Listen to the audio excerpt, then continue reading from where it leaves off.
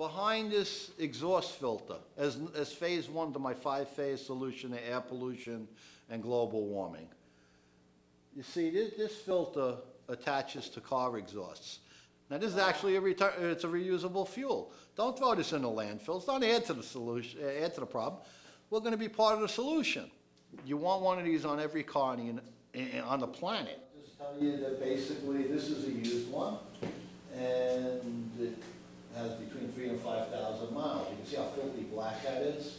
That's all hydrocarbons, that's actually a reusable fuel, so. What happens is it, it goes in, it's a double bypass, so it can't overheat the car, and it actually filters out up to ninety percent of all the exhaust fumes that come out of a car. This one here is designed to slide inside the tailpipe, so if you can kind of imagine what's inside here as something similar to this, you'd have a good idea on what, what the exhaust filter is all What's about. that, that air is spiraling to? Yeah, this, this, this will spiral it, this, this will go up and down. What's the filter made out of? You can't. you Okay, can't tell us well, no, I got it patent pending, um, and I haven't even opened up a corporation, keep everything above board and legal. So this, this filter is, uh, made out of, uh, a mesh and, and, and a, a fireproof, uh, material, but I'm changing that to have it high heat, resistant, and flammable. Because I do wanna use this as a reusable fuel. That's actually gonna go for my second invention, which are on smokestacks and, um, power plants. You won't get one drop of smoke out of the, out of the stack. The way I have the ductwork designed and my invention that goes into that, all the smoke is going to be turned back into a reusable fuel.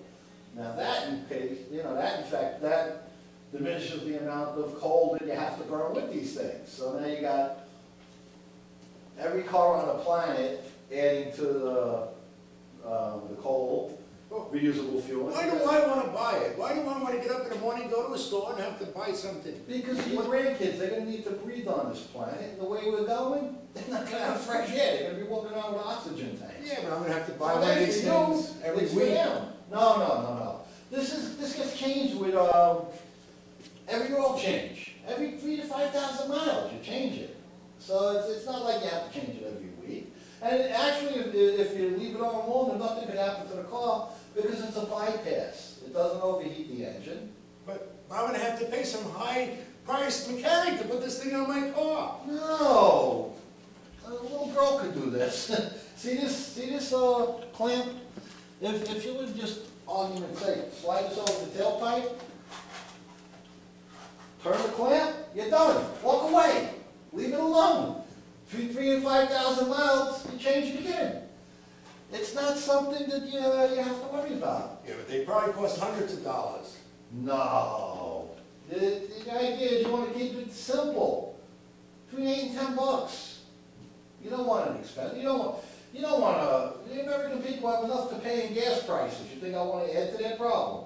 I'm looking to create solutions here, not, not add to problems. They got enough to pay. What's that little green thing hanging off the end? In case you Ah, see make a now that, just like I write songs, this is my, it's what's called the hook. It's basically saying, hey, I'm doing my part to clean the environment, clean the air. Are you? Now, if they happen to turn this into a law, and a cop gets behind you, and he doesn't see this little green ribbon, he's gonna say, you ain't doing your part, you deserve a ticket. This is an American-made invention, and good old American know-how, all right? So we're showing our part. My little green string is, is saying, you know what? I care about this country. I care about my kids and my grandkids, and we want everybody to breathe freely, you know, so. Actually, what I need is, I need a, I need a big investor. I can't do this by myself. I can't make these things in my garage all day and sell them. What I need is someone with foresight. I need Donald Trump, I need Oprah, I need Bill Gates, somebody. Even if they're just very rich and they don't want to be known, that's cool. You don't have to know it. Just invest. Let's get a, a machine shop to spit these things out, and we all make a profit. And every, and we got clean air making a profit. And the best is, like I said, they don't end up in landfills. They end up as a reusable fuel. So it's a win-win situation for everybody. Everybody who invests, they're gonna make a profit. The Ameri, every, all, all, all the cars on the planet, it's like taking half the amount of cars off the planet, and then you, you, you lock that in with my other four solutions. We just reduce air pollution and we reverse the effects of global warming. That's what this is all about. So it's a, a win-win situation and the fact that now we got clean air, everybody's making money off of it, and it's a reusable fuel. So now you've just lowered the amount of fuel going into my second event, which is, like I said, the smokestacks, power plants. I actually figured out a solution for clean coal. How cool is that? Clean coal. I mean, think about it.